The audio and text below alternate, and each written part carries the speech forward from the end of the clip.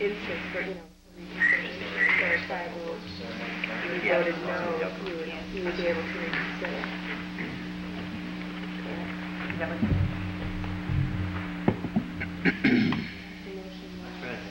You can reconsider. Sorry, there's a fly buzzing left. Someone asked the other day. Would you like to borrow my gavel and take a whack at it? Well, I was supposed to bring one. Uh, No, I was gonna bring one. Billy too. wanted that I wanted. I want to carve I'm one looking tree. for. Really make this, you know, get to the roots. To make a motion, get something moving. Quorum. You can't do it to the. Majority of the members shall constitute a quorum. That was boy, girl as much as possible. Doesn't quite fit though. I don't see. If Billy wanted that, have the see it, would have been perfect. The left and the right. Right, what did you have in your packet? Oh, Michael said there wasn't anything, uh, he said it I was. just pulled it's out in the last, Your, the minutes. your first reading was in the minutes, Yeah. So I have it as in the minutes. proposed, so. See this thing here? Well, it's I'm not there. gonna not appear like the hunchback of Notre Dame. It's the appointments committee. When would you like to? We have two, yeah, we have both one.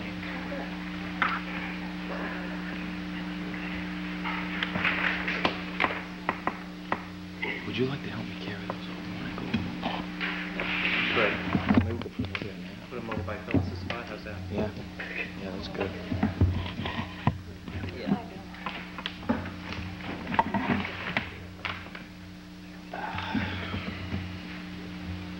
Good evening. The gang's all here. Yeah, how are you? Real good,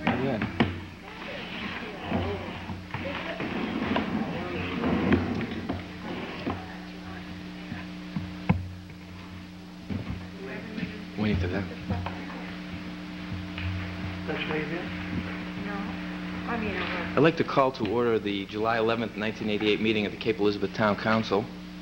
And I'd like to start by having the town clerk call the roll. Frank Vittori, Present?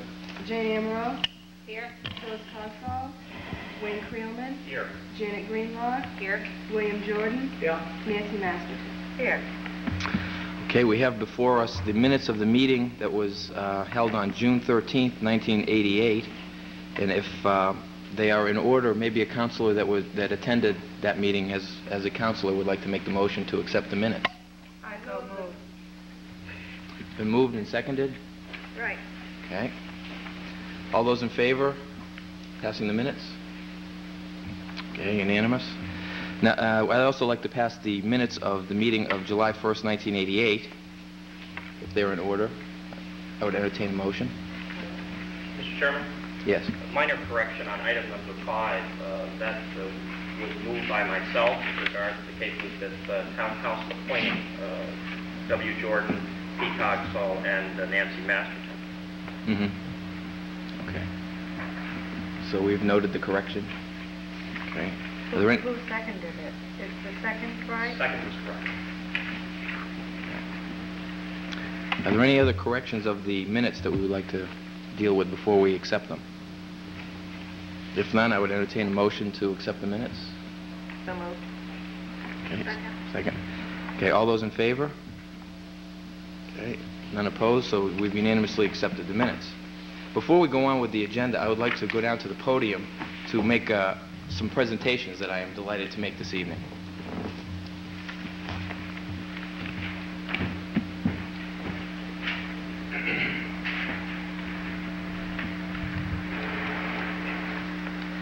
As some of you may know, um, last year the Cape Elizabeth Town Council began a new tradition by awarding uh, chairman recognition plaques to outgoing uh, board chairs.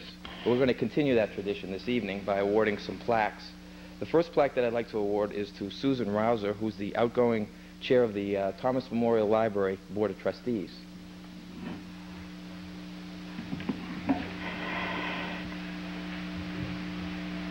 You go, Susan. Thank you very much.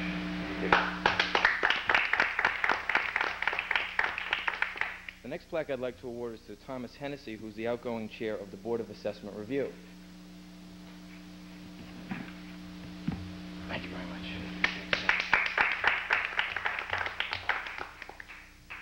And last but not least, I would like to present the plaque to Ann Kerner, who's the outgoing chair of the Fort Williams Advisory Committee.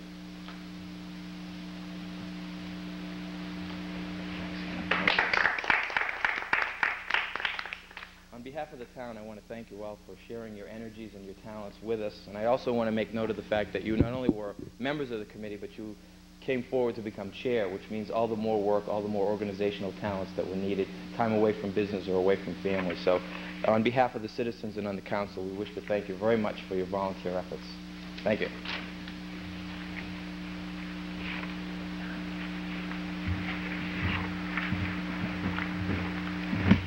Okay, the next item on the agenda would be um, citizen discussion of items not on the agenda. So is there any, are there any citizens that wish to step forward to discuss any issues not on the agenda? Okay, seeing none. Uh, Are there any reports or correspondence from the town council regarding any committees that you may sit on or any reports you wish to bring forward? Uh, Any correspondence you may have received? Okay, seeing none this evening. Uh, We'll move on to item number nine. And one little uh, procedural thing that I would like to bring up at this point, that the way that I will be running the meetings here are, we will probably give a brief synopsis of what the item agenda is, and then I will, either the town manager or myself or the appropriate committee chair, whoever would give the synopsis of what the agenda is about such that the audience here and the public at home can better understand what we're talking about. Then I will invite any public comment that may be pertinent to that. And seeing none, or if there is some, we will have that first, and then the council will have their discussion. Because I believe that the public comment is important to have first, and then we would react to that input as well. So that's basically how I'll be trying to run the agenda items throughout this year. Item number nine is to consider a report from the Planning Board regarding a request to rezone land in the Eastfield subdivision from RP to RA and take any necessary action.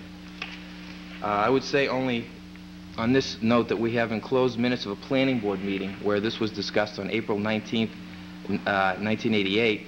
The minutes reflect the recommendation to the town council that the zoning map not be amended for lots 27, 30, 31, 32, and 44, but rather that they remain in the resource protection district as currently designated. The question at hand is whether these are properly designated as they are presently in the RP district, whether this is a proper designation. So I would at this time ask if there are any uh, comments on this from the general public this evening. Um, My name is Mark Plummer. I'm president of the FS Plummer Company. We're owner of those lots in Eastview. Um, I believe we have to have a public hearing on this, and I'd- I'd just like to comment tonight that I think that when the, we've been going around and around on this for about nine months with the planning board, and uh, I think that when the town of Cape Elizabeth and the council created the RP zone back in 1984, they included those lots uh, that are under discussion in the RP zone. And we believe that those lots are grandfathered uh, and have been all along since they were approved under the guidelines of the town of Cape Elizabeth back in 1964. Uh, They met the comprehensive plan at that time and uh, all other requirements. Uh, Since then, um, they have uh, been developed, the town roads there, water system, and most re- recently, a a sewer system. And we spent several thousand dollars to um, make those buildable lots. uh, That is served by sewer and water. Uh, We feel they are buildable lots soils-wise. Uh, now if they have sewer and water, we'd like to just re-emphasize our position that we'd like to request that that RP zone be removed. If you have any questions, I'll try to answer them. Okay. Are there any questions of Mr. Plummer? As, as he did mention that uh, there has been a recommendation that this, actually a requirement that this be set for a public hearing. So uh, there'll probably be a lot more discussion ensuing at that hearing, should that motion pass. Does the council have any other discussion or input they'd like to have on this right now? Mr. Chairman, um, I move that um, we set this for public hearing on Monday, August 8th at 7:30 at the town hall. Mr. Chairman, I'll second that motion with one comment that I have as far as reading the minutes of the, from the planning board, I would hope when we get into the public hearing that it will all come out and clear my mind. I think just one, two, three members of the planning board have a question in their mind whether all the lots should stay there. There's some that are, are possibly buildable. And uh, I noticed their motion was that they all stay there, but I guess they could still build on two of them, even though they lap into the res- resource protection zone. So I believe this would all come out at the public hearing, and I'll wait until then.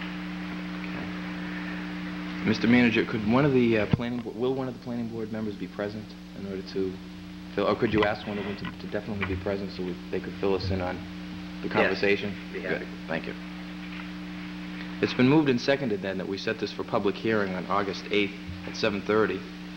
Um, All those in favor of the motion, please raise your hand. Any opposed? The vote's unanimous to set for a public hearing August 8th at 7:30 here at Town Hall. Moving to item 10 on the agenda, a report from the Board of Sewer Appeals regarding requests from Edward Drynan for sewer extension and take any necessary action, and a little more background from the town manager. I believe, I'm not too sure, I think the request may be actually from both Edward and Janice uh, Drynan as the property owners. So it's, uh, Mr. Drynan's been representing the owners of the property uh, before the Sewer Board of Appeals. Uh, Several months ago, Mr. Drynan approached the town council to see if perhaps the sewer could be extended onto some property that he owns off Spurwink Avenue, uh, approximately on where I call it the bad turn is down near the South Portland line. It's actually right before you get to that. The land extends over to Leiden Lane, uh, which is off Mitchell Road. Uh, Originally, Mr. Drynan uh, came to the council and asked for su- sufficient sewer capacity uh, to essentially provide for uh, somewhere between 39 and 52 lots. Uh, I think he, Mr. Drynan indicated the parcel would allow for 52, however, he planned to limit it to 39 lots that, that would actually perhaps be developed by, by another uh, subsequent owner. Uh, The Sewer Board of Appeals met on, I believe, three occasions uh, discussing the issue, and after looking uh, considerably at information provided by Mr. Drynan as well as by the town engineer on capacity, uh, upon looking, excuse me, at uh, the ordinance and exactly uh, what is allowed, it was the feeling of the Sewer Board of Appeals, I think actually by a a four to one vote, uh, it was their recommendation that the uh, extension should not be granted. I think primarily, although I I wasn't at the final meeting, there is a member of the committee here who was, I believe primarily the decision was made, was made on uh, the section of the ordinance uh, which dealt with uh, fill-in growth and how many connections would be allowed uh, pursuant to that ordinance. And they, although they, they considered uh, the Drynans' uh, submissions on the issue of how much capacity is actually in the South Portland plant. I think that in the end, the final decision was primarily made on uh, the ordinance itself. Thank you, Mr. Chairman. Okay, very good. Are there any members of the public that would like to speak on this issue?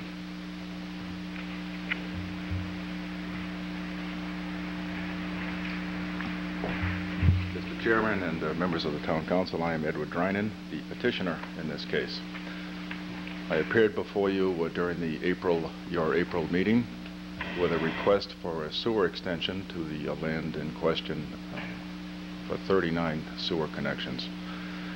Uh, The town manager has uh, accurately uh, represented the events before the Sewer Advisory Committee for three meetings and the sewer, the sewer advisory committee voted four to one against my extension request.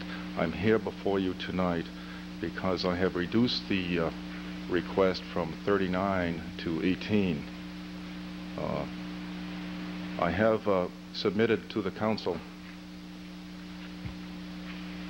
what I consider to be a comprehensive uh, information sheet in my formal petition.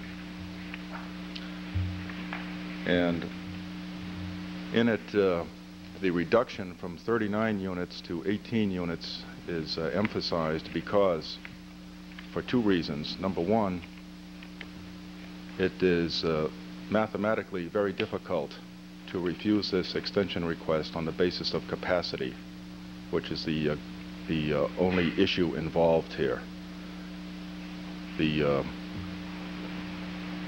the chart which I've uh, presented to you shows that on average for the nine-year reporting period in which the uh, sewerage from the Northern Cape system, that which flows to South Portland, uh, has never exceeded contract capacity.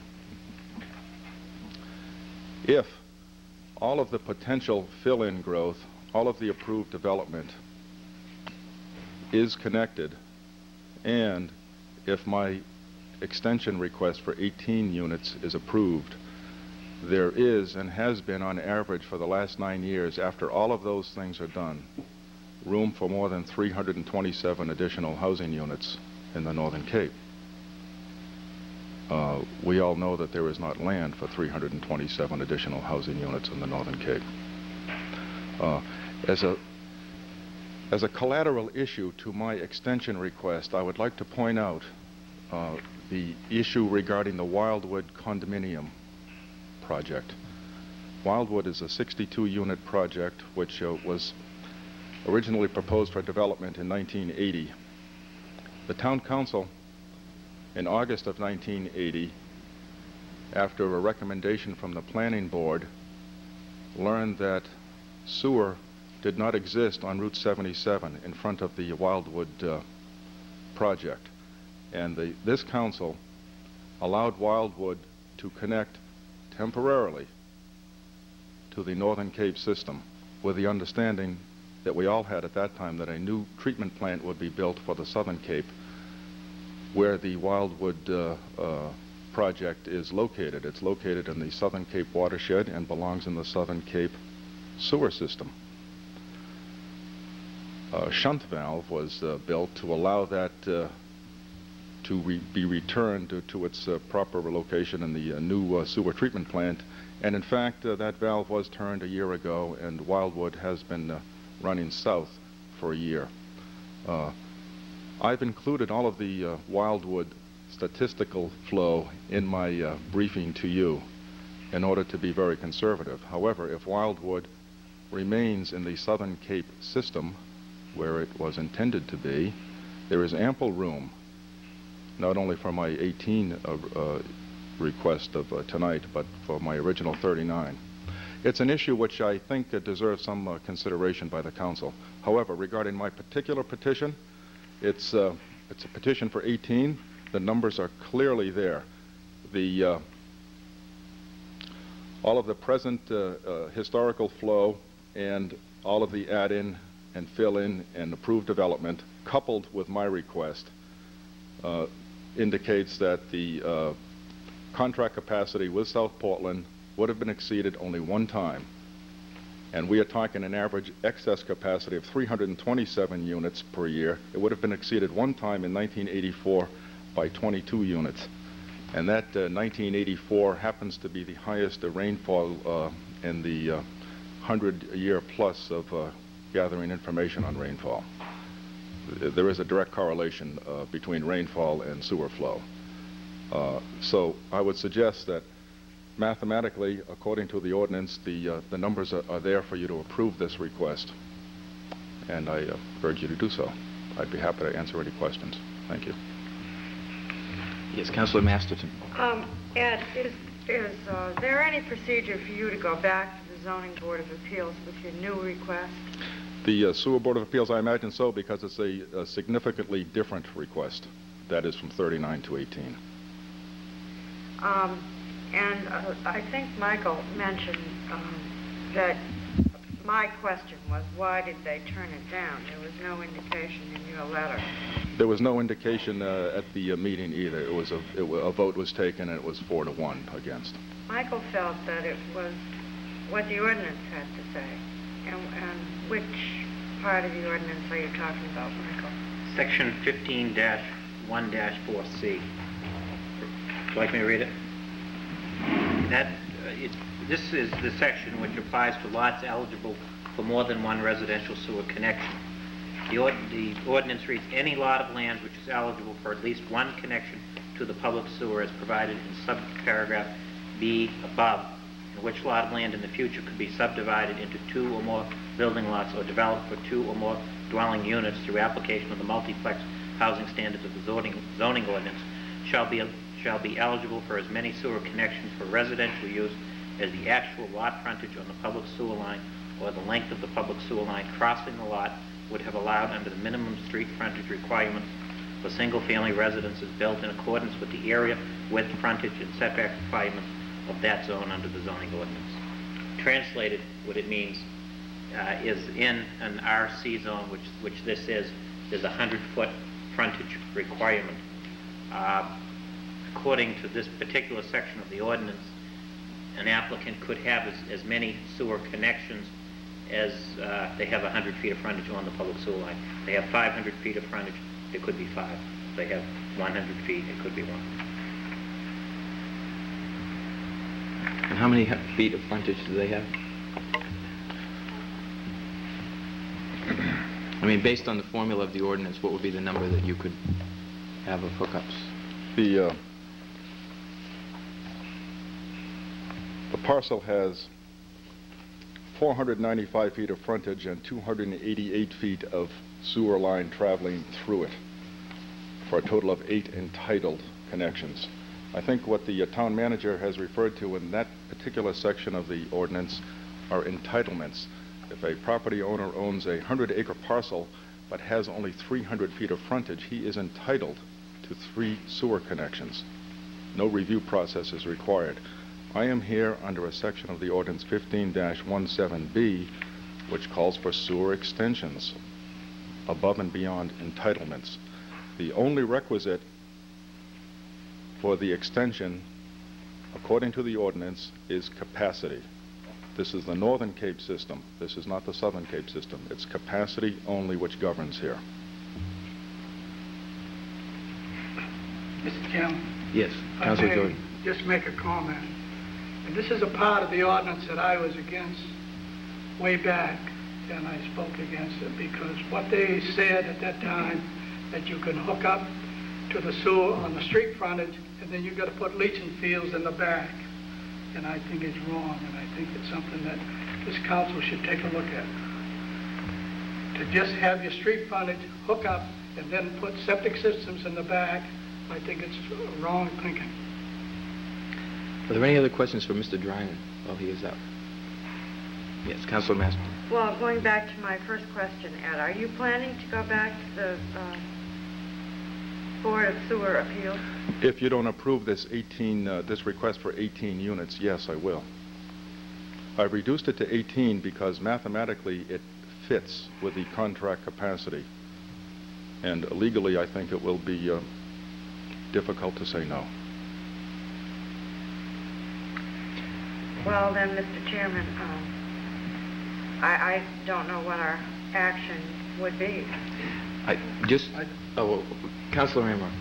Uh, I think it is a substantial change, and I personally would like to get another opinion from uh, the the, uh, board, advisory board, to see if they, if they would look any differently upon the reduced number of lots that are being presented here. And and maybe they won't, but I'd like to know that before we take any action. So I- I'd like to move that we send this request to, back to the um, Sewer Advisory Committee for another recommendation. I'll second it. It's been moved and seconded to send it back due to a substantial change in the request of the number of lots to the Sewer Advisory Committee. Board of Sewer. Appeals. Board of Sewer Appeals, I'm sorry.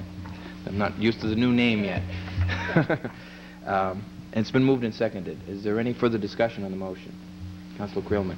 My only hope is that in the, uh, in the context of it being uh, reviewed uh, the next time by the uh, Sewer Board of Appeals, it it does seem that we're quoting from different sections of the ordinance with regard to these lots uh, being allowable or not. Uh, It would be helpful to me to see exactly why a vote was taken either for or against, based on uh, what section of the ordinance we're dealing with, uh, so that we could at least all agree upon uh, the same uh, part of the ordinance.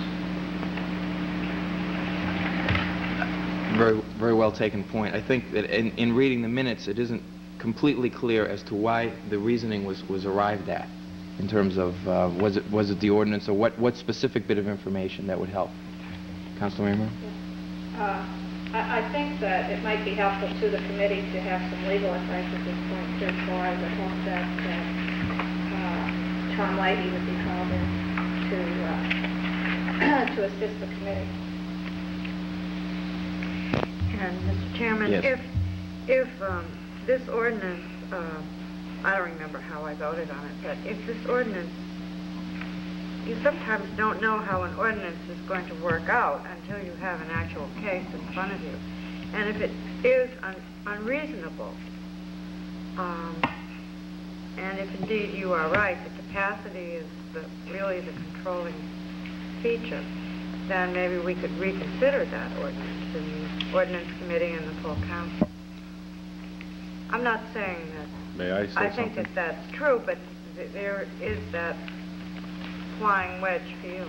Uh, Like most of you, I am very aware of the extensive uh, study done into the sewer issues in 1983 and 1984. The Volunteer Advisory Committee uh, met and exhaustively considered these issues. I think that, uh, and was very emotional at the time, and I do believe, and uh, I think most of you would agree, that the entire uh, focus was on the Southern Cape system. Public debate uh, occurred, and ordinances were passed. After the fact, in order to achieve a policy of parity, the same ordinance that uh, so exhaustively was aired regarding the Southern Cape was sort of administratively and quietly applied to the Northern Cape. I had no forewarning of this regarding my land. And I think it's uh, two different issues that we're talking about here. And I think perhaps it is appropriate to uh, reconsider it as it pertains to the Northern Cape. Councilor, uh, Councilor Masterson? Um, well, I was very involved with that whole development of the sewer policy, and you should be aware, Ed, that we were very concerned about having just one sewer system, and that the fees would be uh, the same, and that the policy would apply to both. The only difference being the southern treatment plant and us using uh, South Portland for the northern section. But we were very concerned about having a single uh, policy. Now, this ordinance that uh, Michael read was developed later, after the referendum, and uh, and when we were much cooler and we were looking at it. I think more or less from a growth point of view, and the capacity issue also. So, and the growth issue was an important one in that referendum. It was important to a lot of people in this town.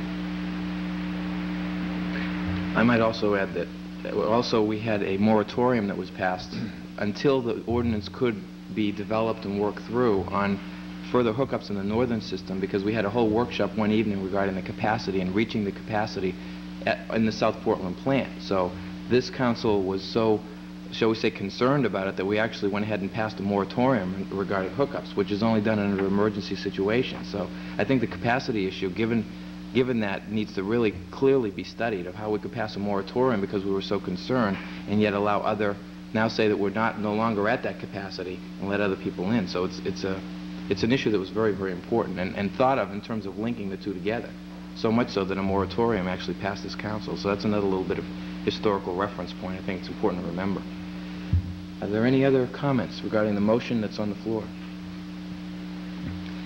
I have one question, Oh, uh, okay. Mr. Chairman. Will uh, this uh, be uh, automatically passed uh, to the uh, Sewer Advisory Committee on my behalf? Yes, if the vote passes here, it will go, it will be advised to, back to the sewer Thank you Board very of much. Appeals. Okay. Okay, all those in favor of the motion? Raise your hand. Okay, any opposed? So it passes unanimously, back to the Board of Sewer Appeals. Item 11 is a is, a, is to consider a report from the town manager on awarding a bid for the Sawyer Road Fickett Street reconstruction project and taking any necessary action. Mr. McGovern. During the winter of 1986, 1987, uh, the town council became aware of a number of concerns about the condition of Sawyer Road and Fickett Street. Uh, Primarily, the, it was obvious that the road was falling to pieces. Uh, It was very difficult to travel on, and uh, so certainly as that winter came to a close, uh, there were tremendous frost heaves on both of those streets. Uh, Due to concerns expressed by the citizens out in that area in March of 1987, the town council approved a preliminary uh, design for the reconstruction of of both Sawyer Road and Fickett Streets. Uh, That preliminary design was done. The, there were a number of public meetings uh, held with citizens uh, that lived on both of those streets, and in December of 1987, the town council approved final design uh, for the reconstruction of of the two, of the two streets. Uh, In June of this year, bids were opened uh, for the work. There were seven bids received, and the low bid was from a firm, uh, Claude Dubois Excavating Incorporated. Uh, At the time the bid opening occurred, we had not heard of this firm, uh, or at least I had not heard of the firm. We did, uh, the town engineer's office, Bob Hunter, who's here tonight, did extensive background checks, found that it, the firm does have a very good reputation, and although it is not a, a large firm, it has uh, gone about each of the, the projects it's had uh, uh, very well, uh, and the, the owners uh, of those projects have been very well satisfied. The bids did come within the engineer's estimates. That very much appears to be in line. I'd also like to report that uh, at your last meeting, you authorized me to acquire rights-of-way uh, for, for the project, excuse me, at your, not your last meeting July 1, but your meeting before that, and there were 26 or 27 property, uh, properties involved, and as of uh, about 5 o'clock tonight, we received uh, the very last one, uh, the very last right-of-way. We we do have uh, actually two more signatures to get, one from an heir of an estate that we don't expect a problem with, and one, someone who said they will do it. It's just a matter of uh, going out and getting it physically signed. So that project went very well, and in- in visiting the residents uh, out on Sawyer Road and on on Fickett Street, most of them uh, were, at this point, quite supportive of the project uh, and looked forward to getting it started and getting it over with. Uh, So I would strongly recommend to you that you uh, authorize me to sign a contract with Claude Dubois Excavating Incorporated for the bid amount, which is 825, 804.96. Thank you, Mr. Manager. Is there any uh, comment from the public? If there's none, is, are there any comments from the councilors, either for the manager, the town engineer, who happens to be here also, or any other general questions? Councilor Masterson. Uh, Michael, I forget what the um, time frame was. If you sign this and get it moving now, is there any possibility that the project will be finished by the time snow flies? The- Hard to think of that tonight. No, there's, there's no possibility it'll be finished because we, we really don't want it totally finished. Uh, what, what the plan is, is to put the first coat of paving down, to make sure that's fully settled, to go back in the spring, put the final coat of paving on and do the, the cleanup. But there, there is the very, very strong likelihood, in fact, it's required in the contract documents, that the first coat of paving go down uh, before the snow flies. Councilor Amero? Uh, I have a question for our town engineer. Bob, in the, in the letter which you wrote to the town manager, uh, recommending, uh, the Claude Du Bois, uh, in the in the last paragraph on the first page, you made reference to the equipment owned by the firm, saying that it is satisfactory for the job. I just, that just seems like kind of a, very weak recommendation as far as the equipment is concerned. I know it's a young company, so I'm wondering, do they really have the necessary equipment? Yes, no, that was, that was not intended to be a slight. I have not seen the equipment or counted it or looked at it myself. The reaction that we get from the, uh, from the state, who they've been working for, and other people, that they do have uh, good equipment, it may not be 1987, 88 type of, uh, of equipment. Uh, But it is uh, well-maintained, they don't have any problems with it, and uh, so it's certainly satisfactory to do the job as required. So I don't have any reservations about them having the equipment uh, available to to do the job. Thank you. Yes. Mr. Chairman, I have a question, another question for Mr. Hunter. Um, I do notice that the contingency fund is adequate, in my mind, to cover field monitoring, and I do want this to happen, especially with the aggregate size and the tamping on this project. Yes, the, the contract and so forth that, that we have with the town does cover the field monitoring. And as I mentioned in here, uh, with a uh, small firm like Du Bois, who doesn't have a gross experience, it may be well that our efforts at field control and checking materials and gradation may have to be a little more intensive with them than it would be if you had a uh, uh, contractor like uh, Sargent or Blue Lock that's been in the business for uh, 80 years. But yes, the intent is to uh, provide the field monitors that are required to make sure that the work is in fact done in accordance with the, with the contract and the specifications. Yes, Councilor Jordan.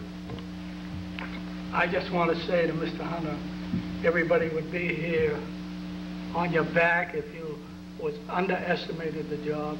I want to commend you for being, having the bid come in. Well, thank you. I. I must readily admit that I win some and I lose some. It's always much easier to come in and say they were in the budget than, than to come in and say it was over by 20%. But I can assure you, I've had it go both ways in the past, and I'm sure it will go both ways in the future. Thank you, Councilor, thank you, Councilor Jordan, for showing we are an even-handed council. It gives out praise as well as damnation. huh? Um, there, is there any other comments regarding this, or questions? Because if not, I'll bring to, uh, oh, I'd like to a- actually have a motion, if we could. Mr. Chairman? Yes. I'd like to move that uh, we authorize the town manager to sign a contract with Claude Du Bois Excavating Company for an amount not to exceed $825,000. Second. It's been moved and seconded. Is there any further discussion on this motion? Yes. Yes? Well, uh, $825,000 is not the exact bid. It's $825,804.96. So that should be Yes, amended. yes, that's I will correct. offer an amendment. Mr. Hunter's memo came in after the agenda notes were done. Uh, So I would offer an amendment to that. Do we have a second? I second that. Uh, I would offer an amendment Okay. to change that 825,000 to $825,804.96. Why don't we round it off to 826? Because it says not to, the the motion was not to exceed.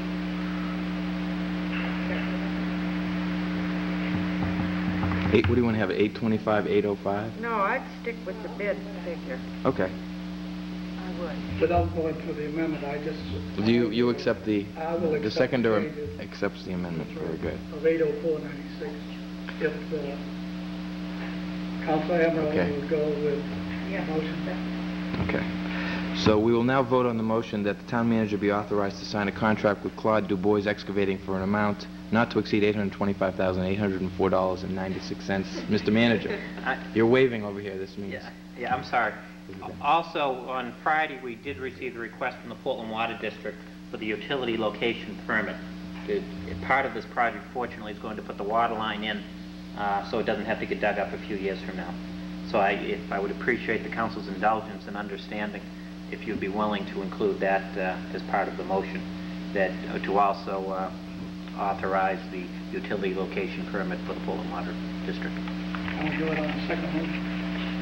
Fine. All those in, oh, yes.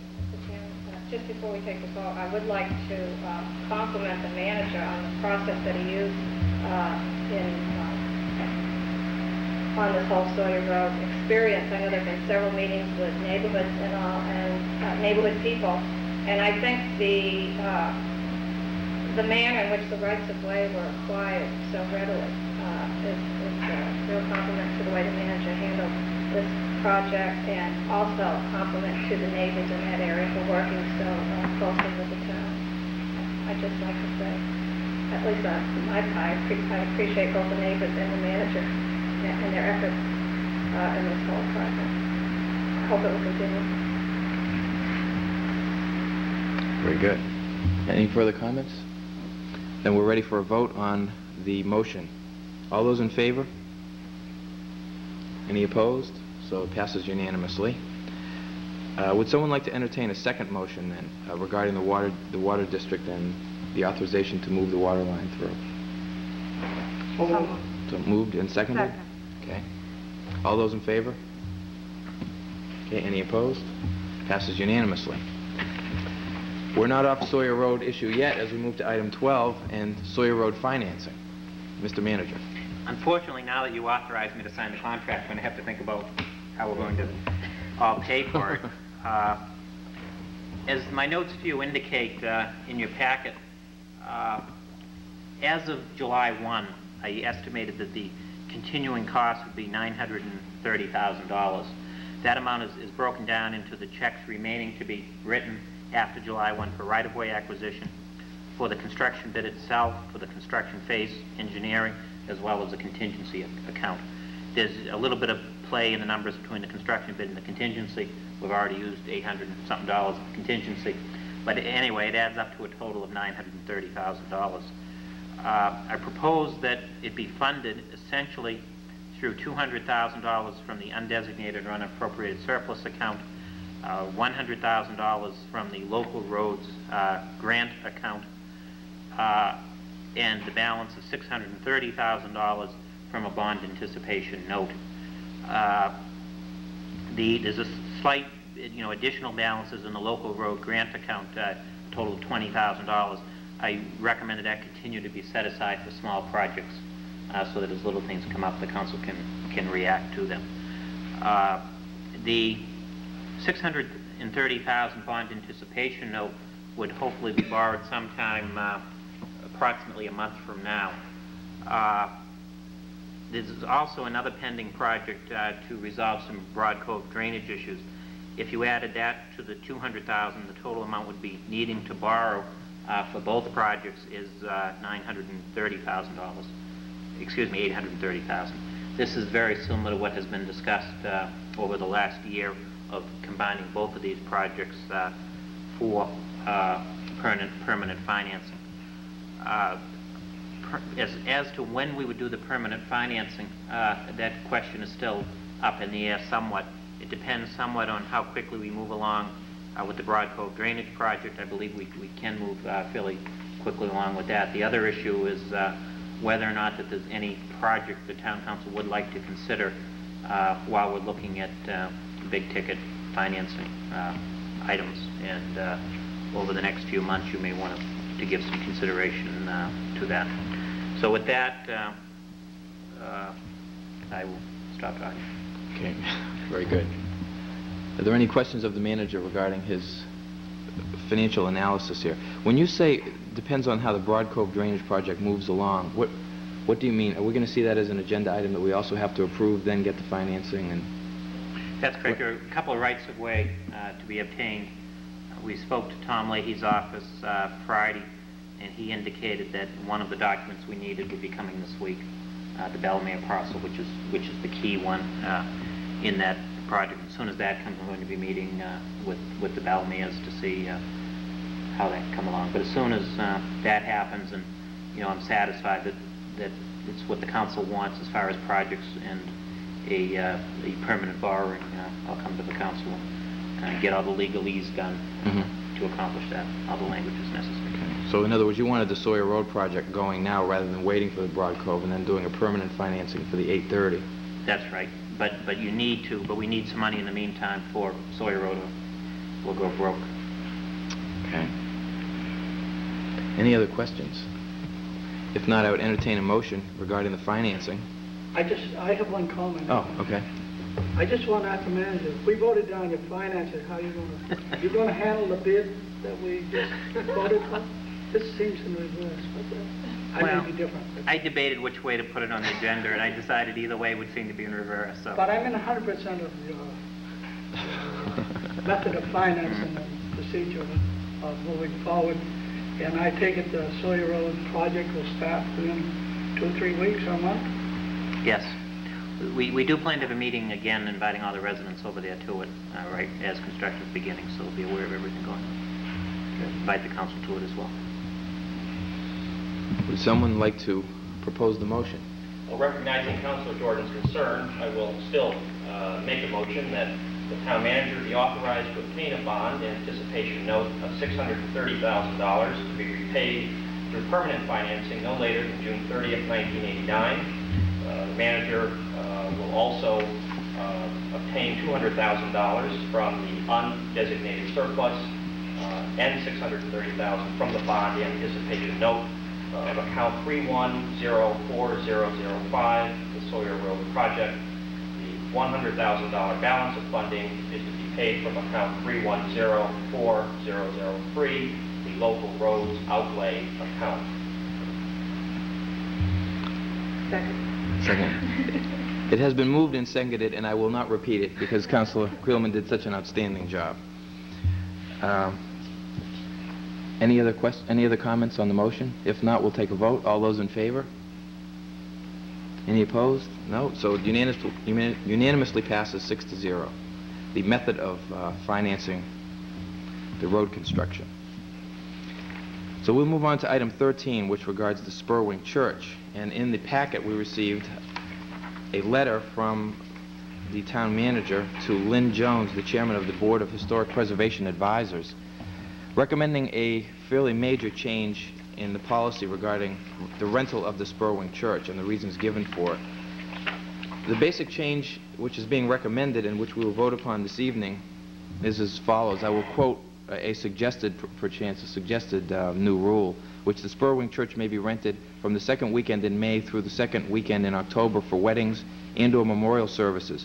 Either the bride or the groom or one of their parents must be Cape Elizabeth residents or shall have resided for a significant period of time within Cape Elizabeth. Memorial services may be conducted for any past Cape Elizabeth resident or for a parent of a Cape Elizabeth resident. This reflects a change in policy which we would have regarding the rental of the church now must be, now is linked to residency within the town in one form or another. We had just discussed a few months ago regarding fees and other discussions regarding the Spurwink Church. We had some good discussions, came to agreements on that, so this is a new amendment to the rules which were adopted a few months ago. And I would throw it open to the public if there's anyone in the public that wishes to comment.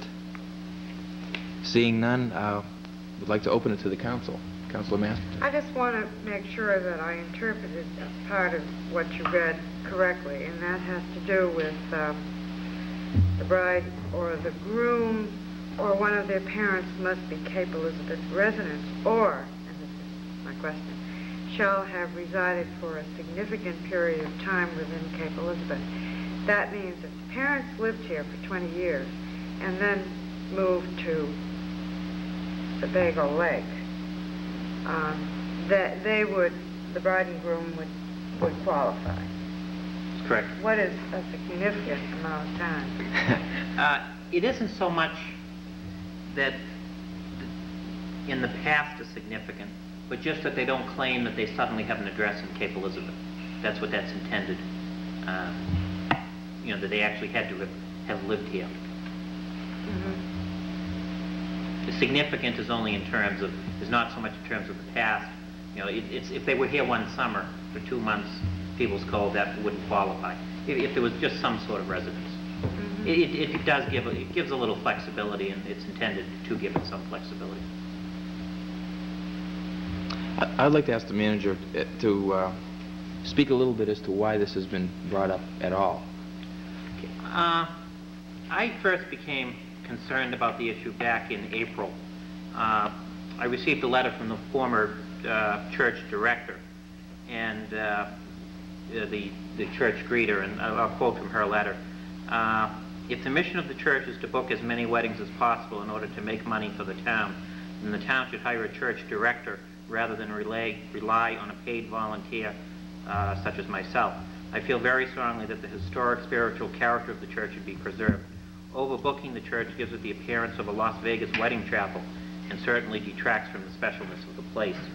Uh, You know, at the time I first received that letter, I kind of paused and, uh, you know, wondered, you know, was that what we were doing? And I didn't think so at the time. Uh, But subsequently, in, in speaking with the uh, two church greeters that we have there this year, uh, I started to get complaints uh, that people, particularly from away, weren't as concerned uh, for the specialness of the church as others. And ironically, one of the members of the, uh, the Board of Historic Preservation Advisors is one of the church greeters at this point. She felt very strongly about that. Uh, secondly, I also got complaints about the carpeting uh, that's between the pews uh, was, is, is a special hand grained carpet. I, I don't know if that's the right term. I don't think it is. But a hand sewn carpet that was made around 1850. And because of the heavy use of the church, about 45 weddings now, people sit there and, you know, I think we've all sat in churches before, they take their feet and as they're sitting there bored, they, they dig it into the carpet. Uh, and, you know, that's really, you know, I know people don't intend any harm, and certainly residents are going to do it as well as non-residents. But it, it's the general feeling that, you know, the more people in the church all the time going like this on the carpet, uh, can't see it under there, but I hope the microphone picked that up, Michael. anyway, it, it causes wear and tear in the church. And, uh, for- you know, brought the concern of the Board of Historic Preservation Advisors. They felt very strongly, unanimously voted uh, that there should be some limits placed on church use, that it, it is getting far too busy, and they felt that the most appropriate way to do it uh, was to limit it to a residency factor. Is the carpet worn more in the front than it is in the Are there, is, are there any further questions, or certainly I, there must be more comments? Yes. Councilor Amero. Uh, When I read this, I, I just had the feeling that we uh, were getting a little bit too tough uh, for, for the problem that you're describing. describing. I, I just question whether we're getting too parochial by saying you have to have lived in Cape Elizabeth a significant amount of time or be related to someone who has. And if it's, if we're worried about the wearing out, if we're worried about the cost, then couldn't we use another way to address that, such as increasing the cost for non-residents? I hate to just say, I'm sorry, if you never had any relative who lived in Cape Elizabeth, you can't get married in that beautiful historic church. And uh, the statistics that, that were sent to us show that there are 43 weddings scheduled between May and October, and of those, 14 uh, Cape Elizabeth people.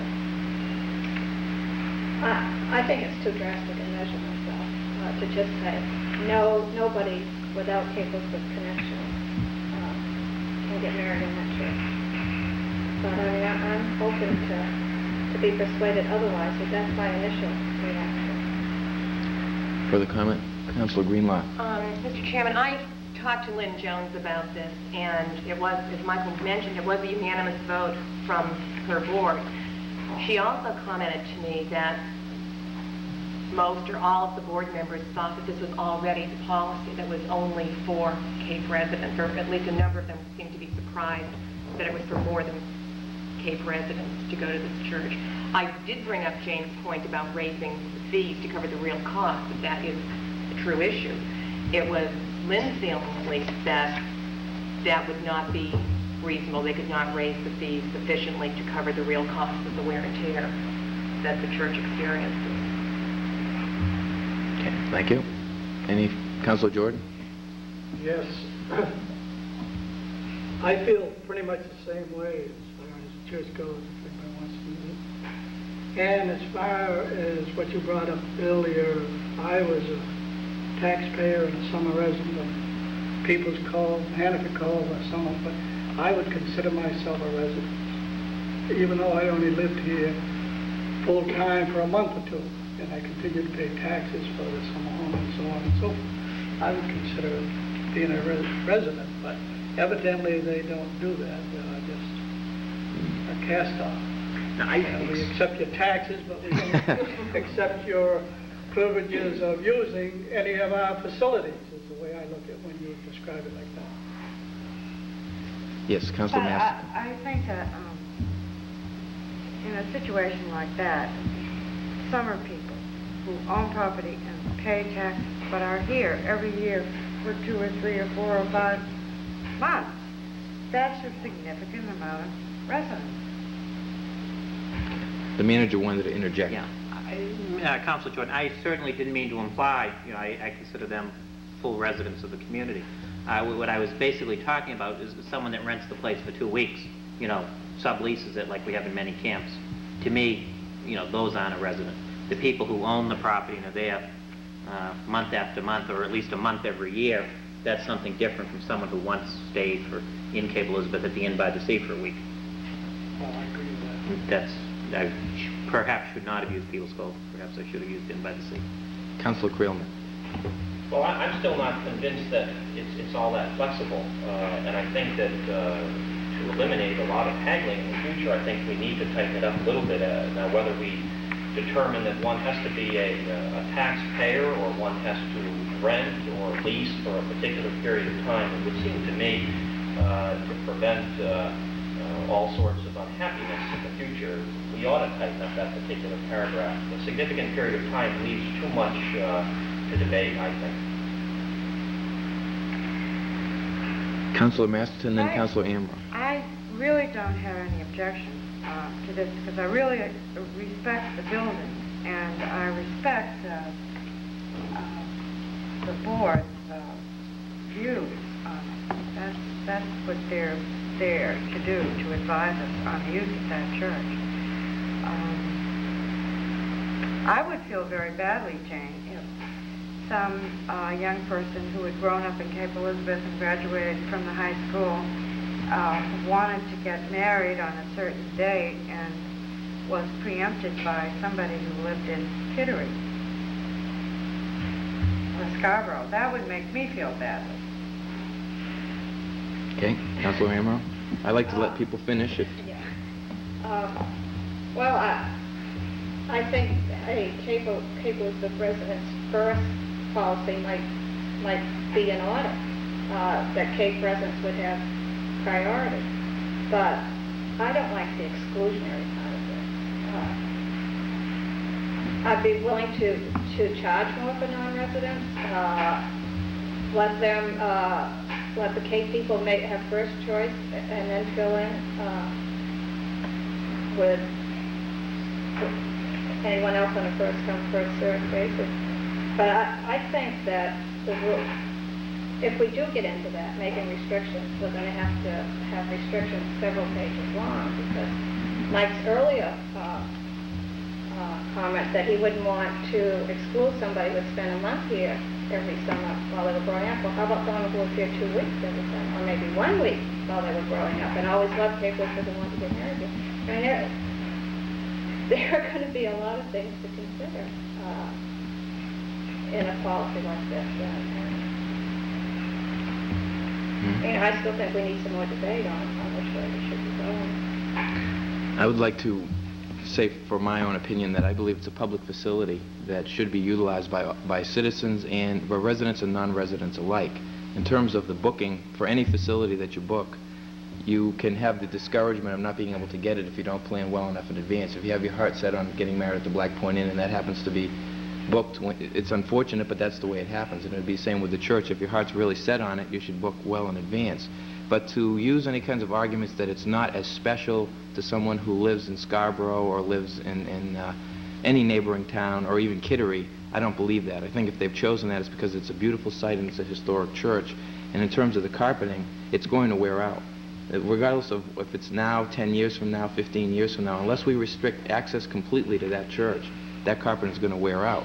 So whether we want to limit the number of times that it's used and maybe say we'll only allow 50 weddings per summer there because we don't want the building overly taxed, that may be a way to go, though I'm not convinced of it. I'm more of the belief that if we need to put funds into it to keep it up, to use it as a facility, we should do so. And if the, if the amount of rental is out of line and someone has to pay even double what we're charging in order to have the right to, to be married there, then that's the way it is. Maybe they'd rather spend 150 to help keep it up than not get married there at all.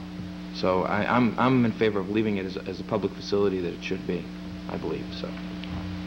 Councilor Jordan. Just, just one more comment. I, uh, I'm in favor of leaving it, uh, or anybody, because I feel that if somebody might have gone through school here, and then it just so happened that their parents, and they went on to college, and after they graduated college, they might want to come back here and get married in that church, and at that time, they wouldn't be arrested. But they could. This allows them. They could. Not if they were, all the parents had moved out. That if the parents had resided for a significant period of time within Cape Elizabeth. Yeah, but that, that one word bothers me. Who's decide what? Would you be happier if we took out significant? I would want that struck, stricken anyway, but Or a I'm gonna period vote, I'm gonna vote against it anyway, because I feel it should be open to anybody that wants to use it. If we feel it's being used too much, we should cut down the number of weddings in the church, not set it aside for certain people. Council Creelman. Yes, I'm just uh, slightly confused on the issue. The uh, Spurwink Church is a national historic landmark, is it not? That's correct. Can, is there an ordinance, uh, can we restrict, I mean, its use to Cape Elizabeth residents as a national historic landmark? I mean, Is there a rule or regulation about that that we are aware of or unaware of? Yes, Council Masterson. Well, I remember when we talked about charging fees, as we have many times, uh, and rejected it for the fort. Uh, remember, the argument was that we couldn't be discriminatory and charge for outsiders and not for Cape residents because that was a federal installation, the lighthouse, right? Or we got We're federal get it- we were money. thinking of getting federal We got federal money for the fort. Now, do we get federal money for the uh, church? No. So, that wouldn't, I don't, I don't know about if you're on the register of historic places, that, do you know the answer to that? Yeah, The, the National Register of Historic Places places no burdens uh, similar to that. I, I think it, it just, you know, gives the town a trust, you know, to, to try to preserve it. Uh, You know, it, it- but even then, there, there no real restrictions. Any further comments on this item? If there are none, does anyone have a motion? Um, yeah, I'll move, um, the uh, suggested amendment to the regulations for the, uh, Berlin Church. Okay, it's been moved, as I read earlier, that paragraph regarding the residency requirements. Do I hear a second? Okay, moved and seconded. Is there any further discussion on the motion?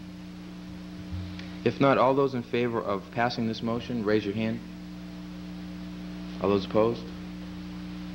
So the motion is defeated two to four. Okay, the next item then is the authorization to the manager of expending up to $1,200 for new council podium microphones and take any necessary action. This has come to pass because people that have seen us at home or that are watching, or those of you who have seen it taped, notice that the, you were able to understand the chairman far better than you are the other councilors. And I know many of you would think that I would thus vote against this issue, but I am in favor of it. Because I believe that we all should be heard equally.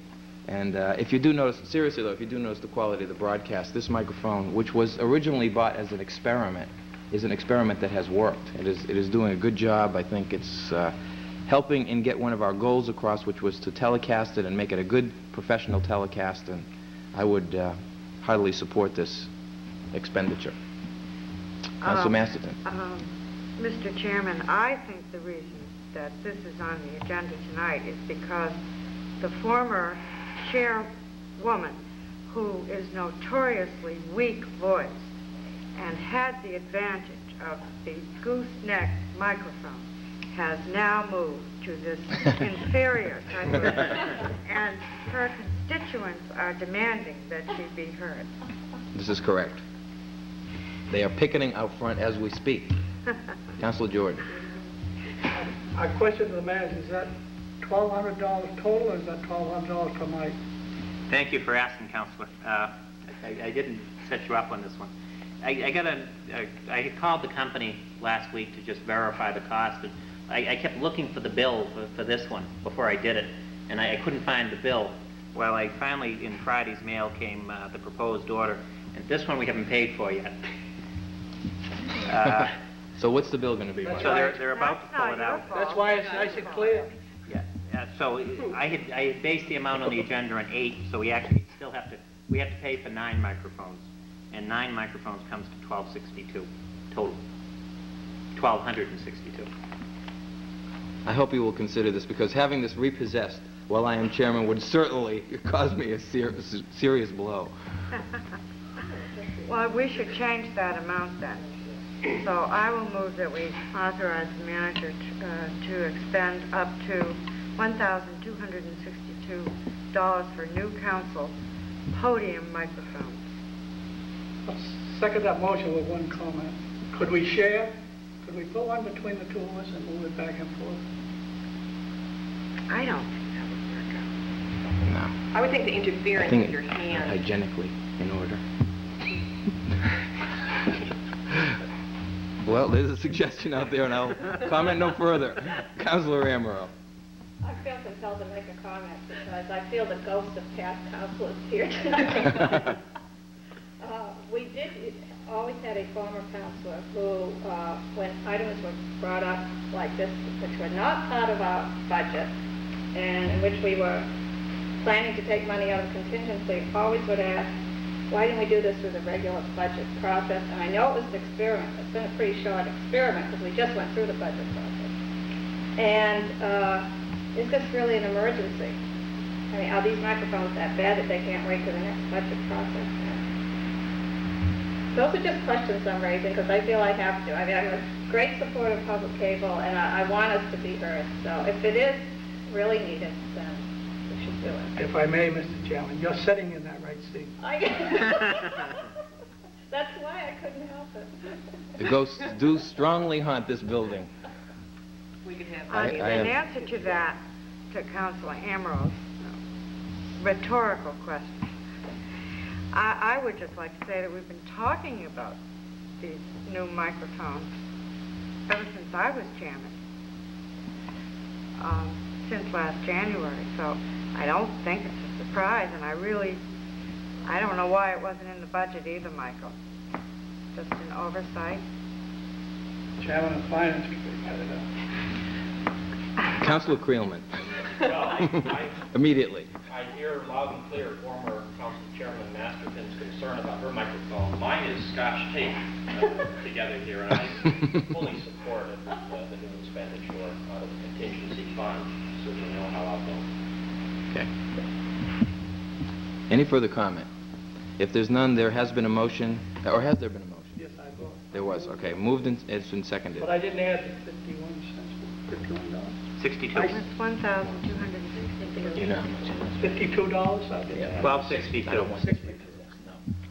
Oh, Okay. you did, go ahead. I- All, all those in favor of the expenditure? Raise your hand. Thank you very much. Any opposed? Passes unanimously, six to zero. Item 15 regards referring to the ordinance committee the responsibility for reviewing town noise control ordinance provisions and to take any necessary action. The only uh, introductory remarks I'd have on this are, there presently are no specific ordinances regarding this matter, but it has come to our attention that with a great deal of construction uh, going on in Cape Elizabeth, certain parts of Cape Elizabeth, that noi- the noise issue is certainly a, perm- a pertinent one, as well as other, besides construction, there are other things happening in the town. So maybe it is time that we had one, even though we can't specifically say, here's the ordinance we'd like the ordinance committee to look at and amend, this would probably be a developing of a new ordinance. So that's my introductory remarks. Are there any comments regarding this uh, particular item? You got, have you got complaints? Are There has been Yeah, complaints. yeah, have You got letter. one left? there have been other complaints over the years, particularly with new sub, in the areas where new subdivisions are going in. Yes, Councilor Well, I, I think the letter that we received talked about, uh, people beginning to come to work uh, at six o'clock in the morning and making so much noise that residents couldn't sleep. So I, I think it's something we ought to look at. And I'd like to ask the ordinance committee to, um, uh, to see what other communities have for noise control ordinances. and not necessarily recommend that we do something, but uh, at least look into it and and, uh, see if there's- it's a possibility. Is that a motion? So I would move that we uh, send uh, item 15 to the item committee for their recommendation. I'll second, I'll second that motion, and I'd like to make one comment. I thought this item might have been aimed at me because the first night that I irrigated beyond 11:30, we got a call from one of the new residents on Wells Road, Spurwink Avenue, Wainwright Drive, or whatever you want to call it. And I thought this was aimed at me, and I'm glad I'm on the ordinance committee. I am going to try to protect the farmers, but uh, if they want to drive the farmers out, say so up front so we can leave quietly and easily. Okay. Mr. Chairman? Yes. To reply, my understanding, Bill, is that this is construction noise and not farming noise. And I, in fact, did have a comment about this year, a good year before I was running for council, about the noise, especially in existing neighborhoods where construction, rehab, whatever is going on. Very good. Okay, it's been moved and seconded to send it to the ordinance committee. We'd like to take a vote. If there's no further comment, all those in favor? Are there any opposed? So it's six to zero unanimously sent to the ordinance committee. We now have a proposed amendment to the town council rules regarding reconsideration and taking any necessary action. Where you could best find this would be at the July 1st minutes, which are in your packet, which we approved earlier in the evening. Item number two is where the actual wording uh, is, which is down at the bottom of the first page. That is the proposed amendment, which would then state, this is the amendment that is being proposed. When a vote is passed, it shall be in order for any member who voted in the majority or in the negative on a tie vote to have a reconsideration thereof at the same time or the next stated meeting, but not afterwards. And when a motion of consideration is decided, that vote shall not be reconsidered. And that varies from, uh, presently, if you were in the negative or the affirmative on a tie vote, you could bring it up for reconsideration. That is our present rule. The amendment here is saying that only those in the negative or the the prevailing could bring it up for reconsideration. Mr. Chairman? Councilor Masterson. Um, I wish that we could think for a moment in terms of the meaning of the prevailing side of a vote. If four councilors vote yes and three councilors vote no, obviously the prevailing side is the yes vote. Uh, on the other hand, if uh, three councilors vote yes and four vote no, then the prevailing side is the negative. Um, if a councilor is absent, and the vote is four yes and two no, the prevailing side is, is the yes vote. And in reverse, if it's two to four, the prevailing side is the negative. The only opportunity for a tie vote in our council is when one of the members is absent or there's an abstention of one member or three members. Under Robert's rules, in a vote, the no vote is the prevailing, in a tie vote, the no vote is the prevailing side. Uh, before we tinkered with it, the old section 17 on reconsideration provided what exactly you see in the minutes of July 1. Um, now, whether the vote is 4 3, 5 2, 6 to 1, 3 to 2, 2 to 3, 1 to 6, 2 to 5, or 3 to 4, the winning side, the prevailing side, is the majority vote. But in a tie vote, whether the vote be three to three or two to two, the winning or, or prevailing side is always, under Robert's rule, the negative vote.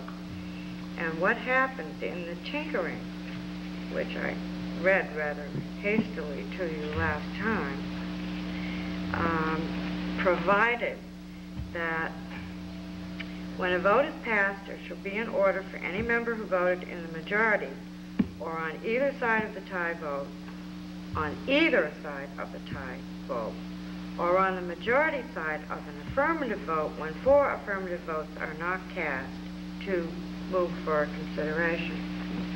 So they changed that concept of the tie vote. Either the pros or the cons could move for consideration. But a tie vote always loses. The winning side are the opponents. Um, now, there were uh, two changes in, in the new section 18 that I have just mentioned. One spells out that someone on the majority side of an affirmative vote, when four affirmative votes are not cast, can move for reconsideration. If you look at that, you probably don't have it with you. I'm not sure what that means, except possibly it's meant to deal with the absence or abstention of a member or two. And what about the negative vote? Why are they just talking about affirmative votes? The majority side of an affirmative vote. The negative is not even mentioned. Uh, it's really um, obscure enough to warrant deletion, that particular change. The second change deals with the tie vote, which I think I've already um, outlined, permitting anyone on either side of a tie vote to move for reconsideration, thus straying from Robert's rules.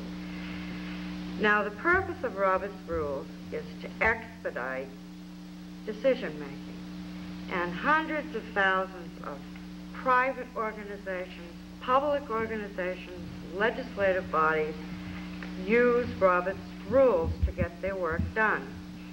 And it seems to me that the whole point of the difficulty of moving for reconsideration is to prevent its abuse.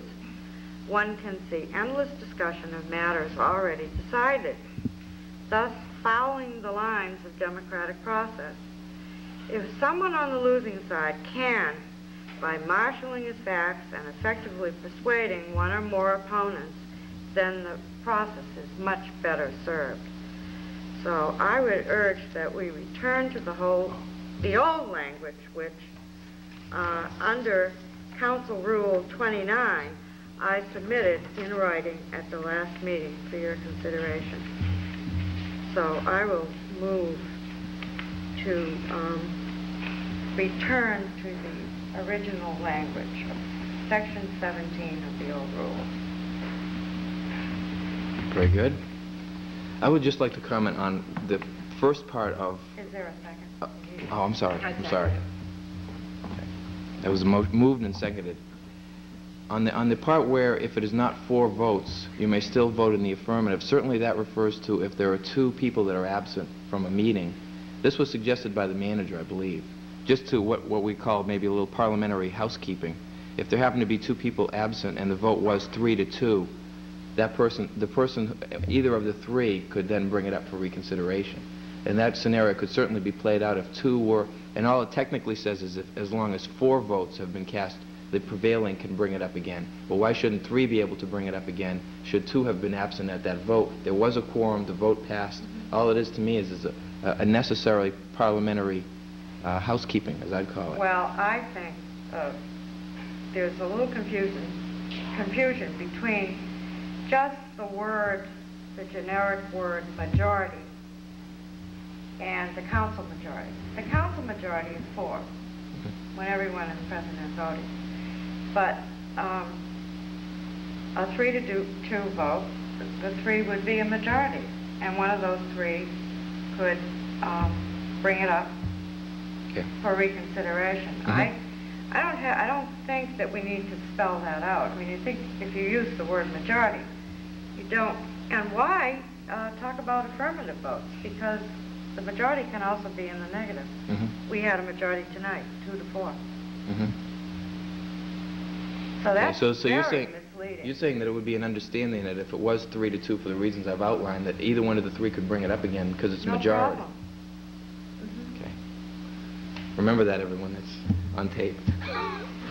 So we're all in agreement with that. I certainly agree to that, and I don't, I don't have any problems of needing to clarify it if that's the agreement. I just want to make sure that in that scenario, one of the three could bring it up. You could, You could clarify it even further if you wanted to by saying, uh, any member who voted in the majority present at the time of the vote, you know, if, if you think that needs to be spelled out.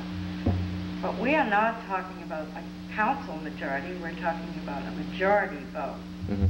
I, in my mind, there's no problem with that. Okay, are there any further comments on either of the major points that Nancy raised? Mr. Chairman, Yes. I get a little uh, confused, I guess. I would think if there was five members sitting here and it come out to a three to two vote, that would be the vote. I don't think that we would have to reconsider it at a later date to get full votes. Maybe I don't quite understand. The only part that confuses me is why, on a tie vote, three to three, why only the, how's it go, the ones in the The prevailing? prevailing.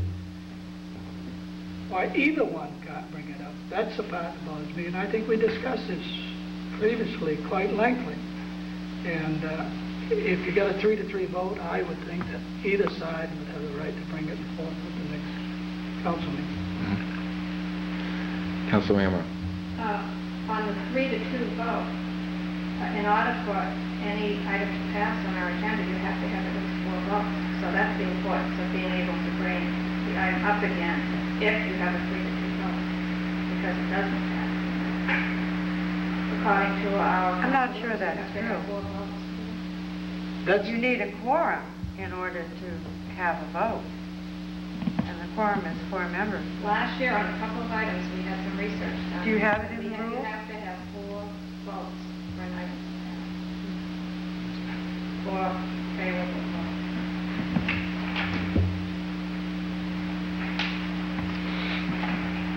Well, in that case, Jane, I just don't think that this is clearly written at all. If you are right, and is that in the rules?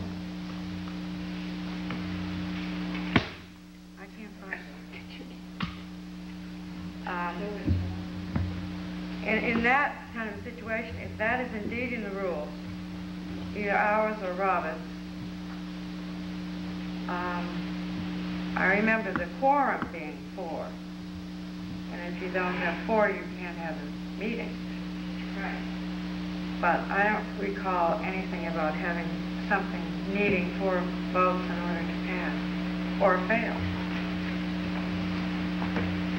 Hmm. Section 8 states, "Every ordinance, order, or resolve shall require on final passage the affirmative vote of four members of the town council."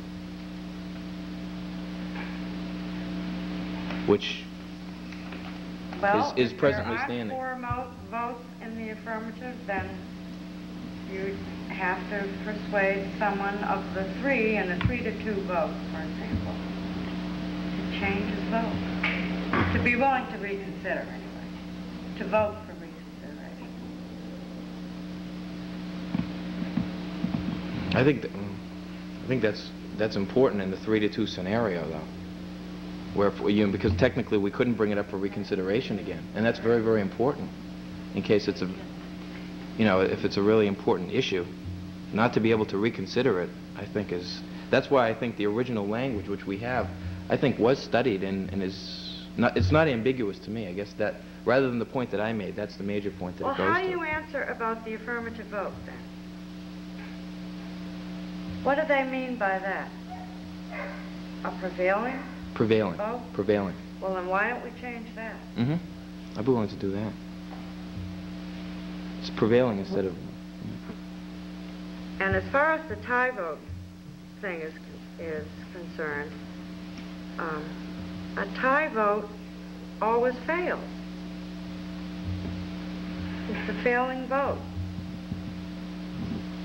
And despite the fact that somebody, when we were discussing this during the past few months, said, oh, well, I know they do it, and they mentioned another uh, council in the area, and I don't know whether that's true or not.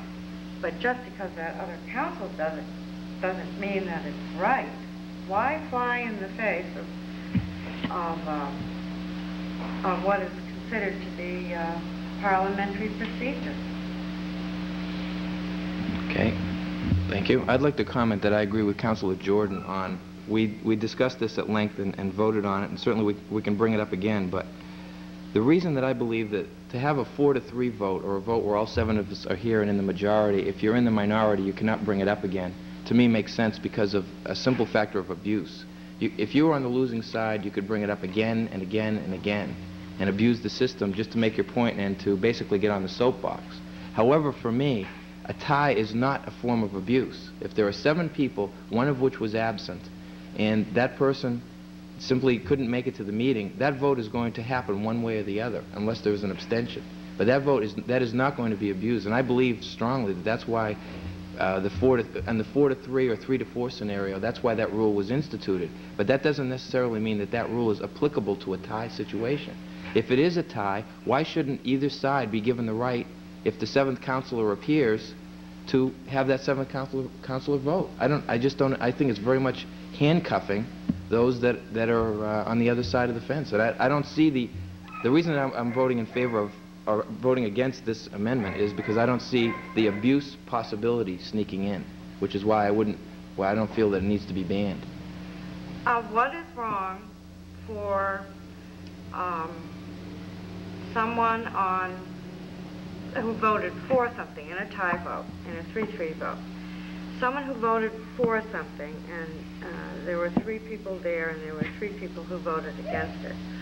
What is wrong for the, uh, the proponents, um, to, um, try and change the mind of someone who was an opponent at that vote when taken? To just simply reconsider to allow the 17th, seventh member to, uh, Mhm. vote. That's only fairness, and I don't think we would have any trouble with that on this council. I think it could be big trouble with that if it was a politically hot item. And I, I just, I simply don't feel that we should put a counselor through having to do that exercise. I believe that seventh counselor has the right to vote, and certainly we wouldn't get into this council of sabotaging or giving someone flat tires so they couldn't get here to cast the seventh vote or whatever. But that seventh vote, if the person then appears, I don't see any reason why it can't be, I still have not been convinced why it can't be brought up by either side. The only reason that I believe in not having the minority, as I said, under a normal four to three vote is I can see an abusive factor where someone can use it as a soapbox time and time again and drive the council crazy with it. But I just don't see that abuse happening with a three to three vote. So I just feel why shouldn't either side have the right to reconsider it? That's. Would anyone else like to comment?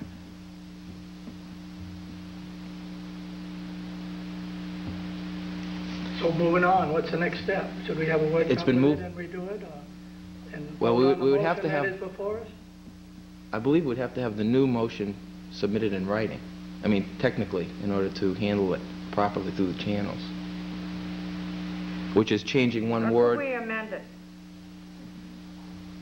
No, I, I think you, you ought to vote what I suggested up or down. I don't think, um, Okay, you know, I see which way the wind is blowing.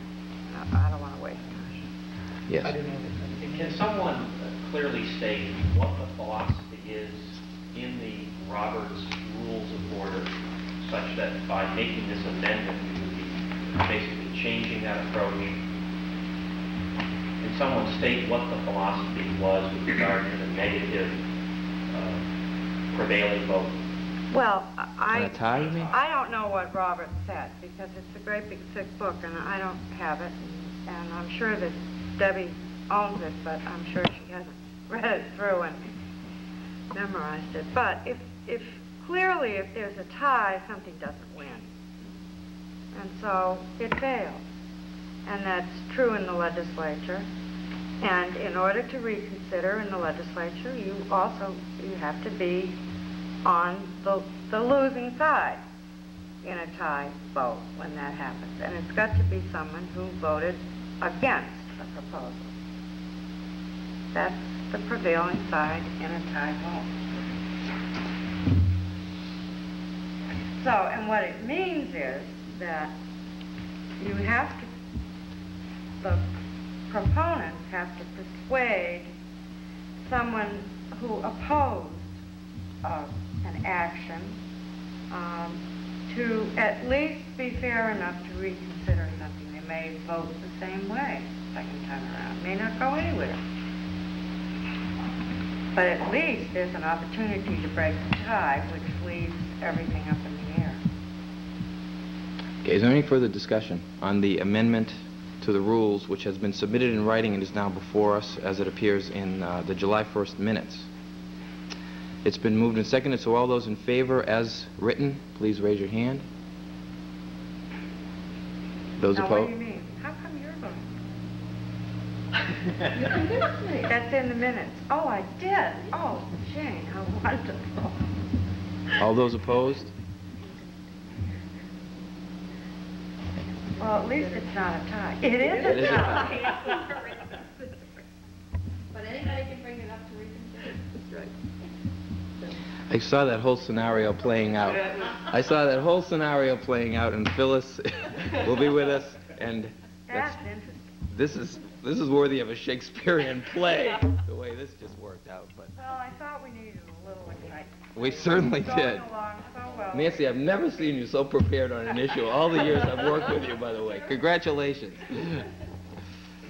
So, okay, moving along to item number 17, which is to consider authorizing the annual borrowing of tax anticipation notes and take necessary action.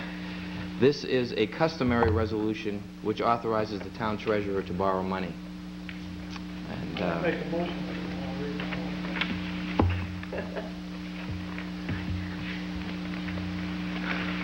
Who's the Uh, first Would, would councilors wish to suspend the reading of the entire? I would move to suspend the entire reading. Okay. All those in favor? So the motion has been made and has it been seconded in order to authorize the town treasurer to borrow tax anticipation notes? Been moved and seconded? Did we get a second? Okay. All those in favor? Any opposed? No. So that passed unanimously. Now we're going to consider certifying the local roads assistant fund, that, that ro- local roads assistant funds will be utilized for the improvement and maintenance of public roads and take any ne- necessary action. Again, this is something that the state requires, state certification. Someone like to make a motion? So moved. Moved and seconded? Anybody? Second. Second. All those in favor? Very good, thank you. Considering that it has been signed, that was a good move on everyone's part. A very wise vote. Item 19 is to consider a proposed collective bargaining agreement with Cape Elizabeth Police Patrolmen's Association and take any necessary action. Mr. McGovern. Yes, thank you, Mr. Chairman. Over the last uh, seven months, we've been negotiating uh, with the Police Association, group that represents uh, our police officers, sergeants, and dispatchers in in collective bargaining.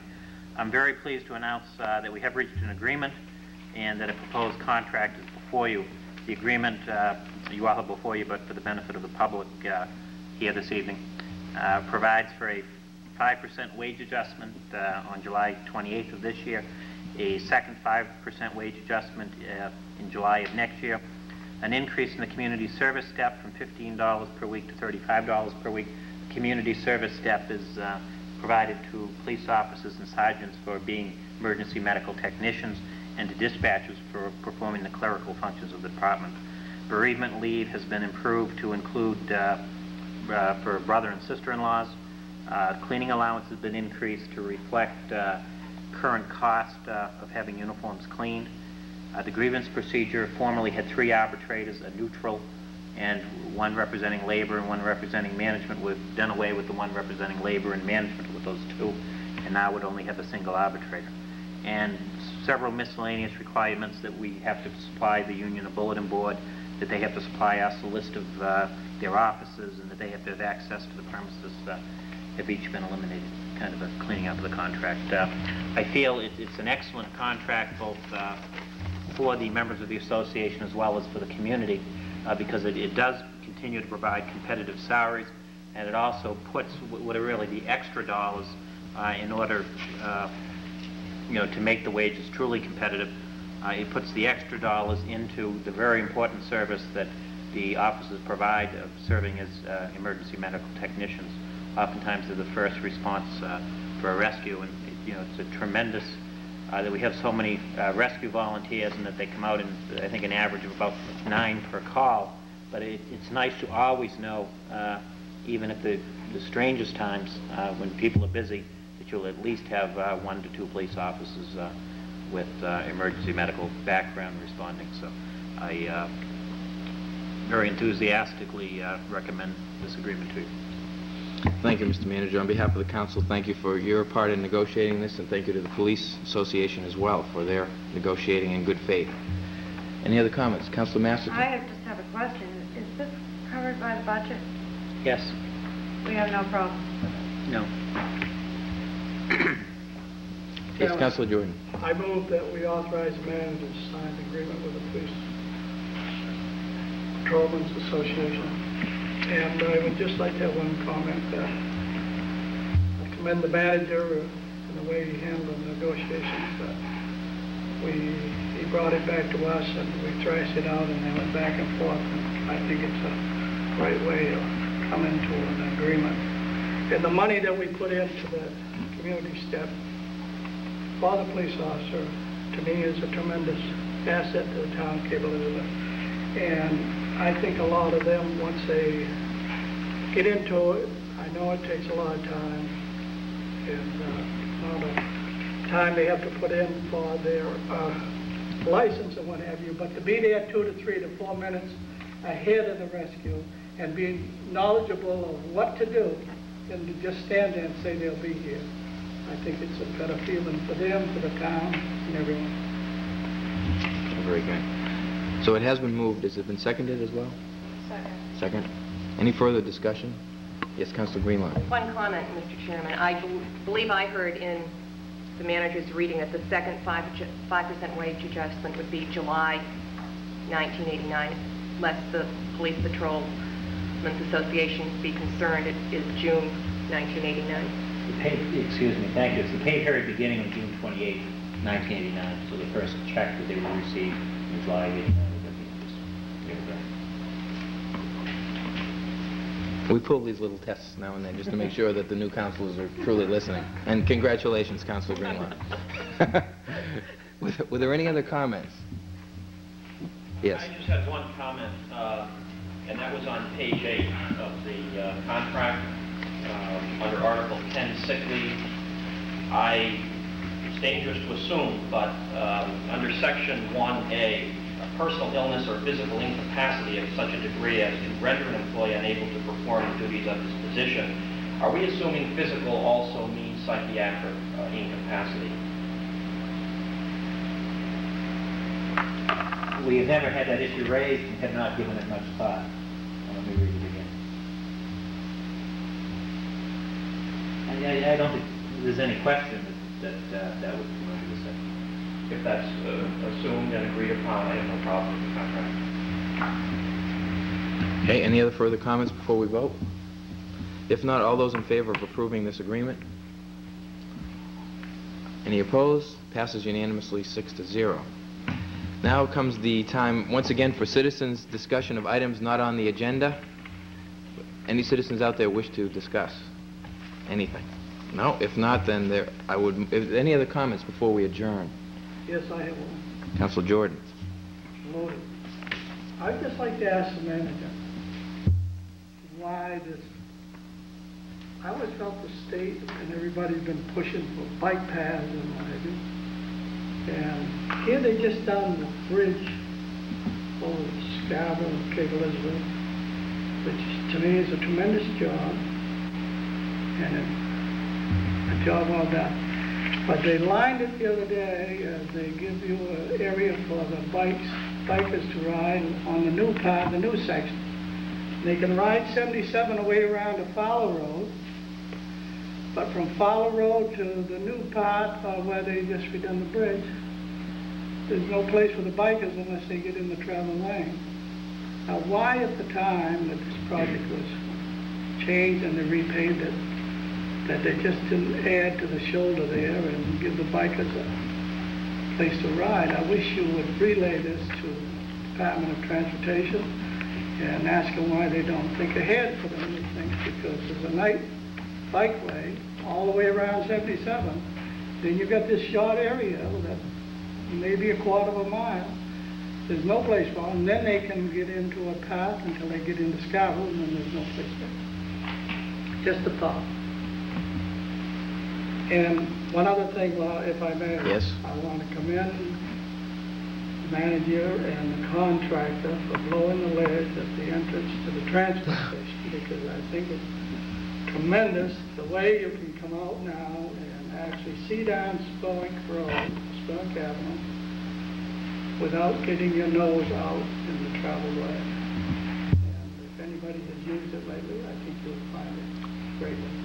I, I thank you for the commendation. However, I was off Friday and only became aware this morning that it, that it had been done. And I still haven't been to look at it, so it's, it's nice to hear it came out good. How did Ed Capano's likeness come out? Did, did they do a good job with that? I have one other thing uh, that I, but I've got So, to get Ed. no, go right ahead, go right I've got to get. Ed Capano to bring it up, because then I can get. it. Oh, oh, okay, okay. The- The post is still due to be painted. Oh, That's that what it was was. the one. Okay. Is there any other discussion? Uh, Other than, I would also like to commend the uh, people who ran the cameras this evening and all of our television crew. It's extremely warm in here, and uh, I'm sure people would rather be out swimming in Sebago Lake or something else, but thank you very much for staying with us on this hot evening at Town Hall. Uh, I would entertain a motion to adjourn. Oh, I, I did already.